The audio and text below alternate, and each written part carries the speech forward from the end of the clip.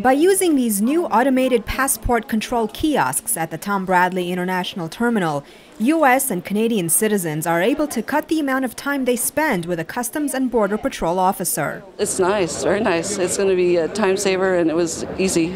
Airport and city officials gathered at the terminal recently to unveil 40 new kiosks, allowing travelers to electronically submit their customs declaration form and biographic information, reducing lines and processing times. Our residents and visitors can be out the door faster. They can be, if they're visiting this town, spending money in our, in our economy, or if they live here, they can be uh, home that much quicker. Single travelers can complete the entire process under two minutes, while a family of three can finish in about four minutes. On average, U.S. citizens are cutting their wait times by 18 minutes. The kiosks remove the paperwork part of the job for U.S. Customs agents, allowing them to focus primarily on verifying the purpose of travel. In the second week, we almost processed 800 passengers in one hour on the 40 machines, so it's very exciting.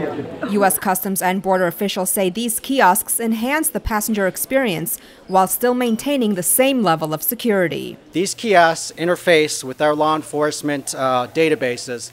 It's the same as if you were in front of an officer at a booth. So again, there is no compromise to security. Travelers using the kiosks will no longer have to fill out a paper customs declaration form.